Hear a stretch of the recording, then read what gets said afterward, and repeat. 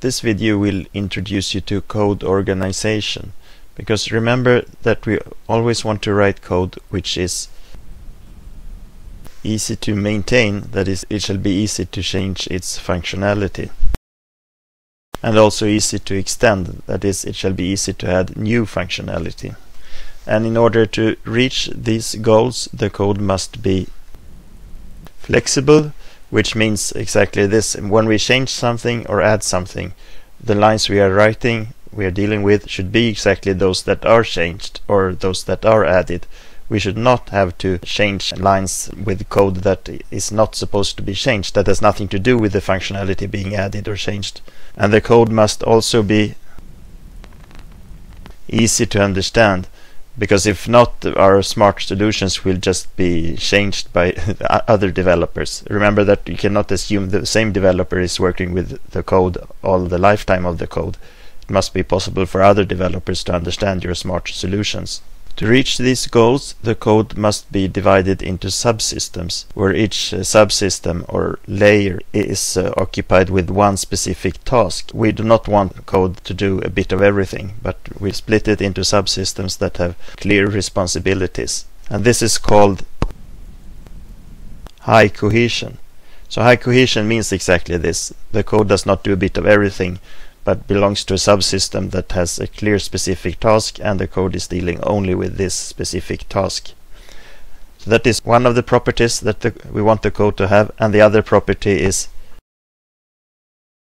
low coupling, which means that different subsystems, different parts of the code should have low dependency on each other because that way if we change in one subsystem or one part of the code there is not much risk having to change in another subsystem another layer. So this is the goal of the code structure to get high cohesion and low coupling. And by reaching these goals we will make the code flexible and easy to understand.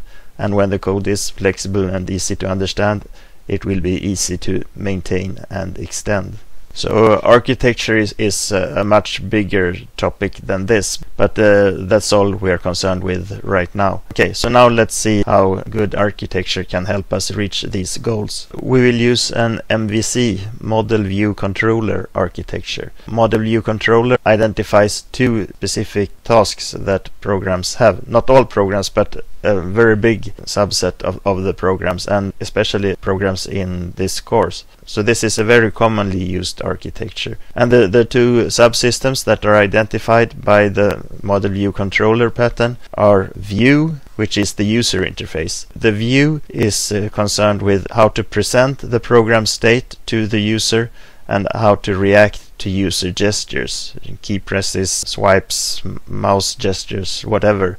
So this is the task of, of the view, to interact with the user. O only this, user interaction, nothing else. And the other subsystem or layer uh, identified by the model view controller pattern is the model. So the model is the program state, the program's view of the reality. Okay, so these are two clearly different things. To interact with the user and to model the reality. And that is what the MVC pattern tells us to split the uh, program into these two different layers. Fine, but uh, that's not enough. There is an, another component here, the controller. And to realize the need of the controller, I will try to show what would happen if there was no controller. So I will try to explain this with the help of an analogy.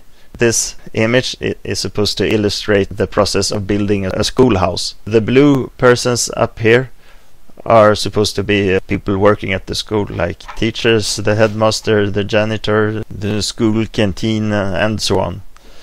And the uh, orange persons down at the bottom are supposed to be uh, construction workers, like carpenters, plumbers, electricians, project managers, and so on. So, in this not so good organization, anyone up here working at the school is allowed to talk to anyone of the construction workers. So, for example, this person here might ask uh, this person down here, "Hey, could you tear down this this wall? I need a bigger classroom." And uh, this one might tell uh, this one, uh, "Please add uh, some extra walls here. I, I want smaller group rooms." And this one tells that one, oh, please add a pipe here. I, need a tap here. Okay, so one can realize there will not be much of a school built with this organization. So instead, we need a better organization, and that is to add this uh, steering group here, the green thing here in the middle.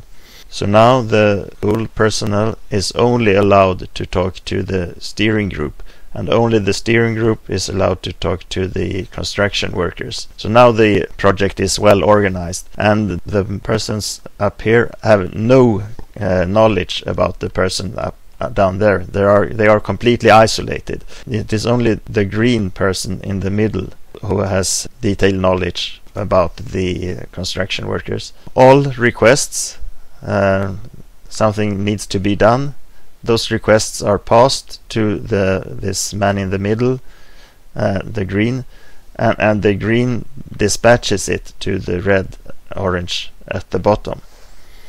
And it's this uh, green one that has the detailed knowledge about who to talk with at the bottom, who, who shall do what. So uh, the green, as you might have guessed, is the controller layer. So the uh, MVC pattern identifies these three layers: the view, which is where commands originate. The controller, whose task is to translate the commands originating from the view to detailed instructions to the model. And the model is the program's view of the reality where the actual work is done.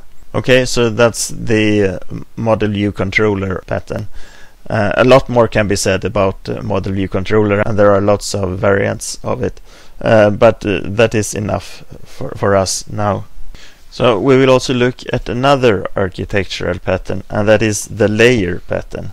While the uh, model view controller pattern specifically told us to uh, have the uh, the layers view, controller and model. The layer pattern more generally tells us to split the program into layers, subsystems called layers. So in this image here there are three extra layers. First there is the data layer which might be the database where the data is actually stored.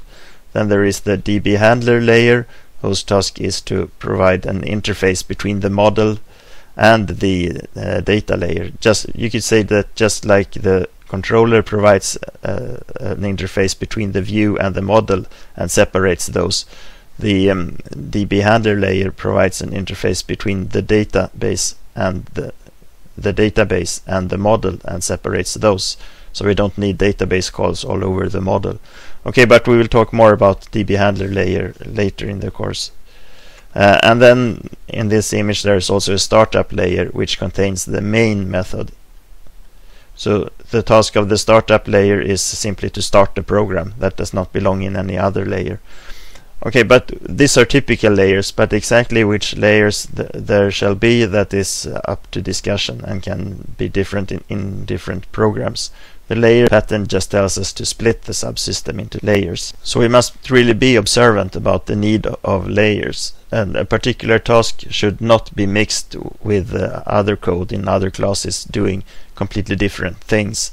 If, if the code we are about to write does not fit logically together with any of the existing classes, then it, it might be a sign that there is the need for a new layer. And uh, I think it helps to think of the layers just like the layers in a cliff here in this image. We can think of these layers as being organized top to bottom somehow. This is the top, of course, and this is the bottom in this image.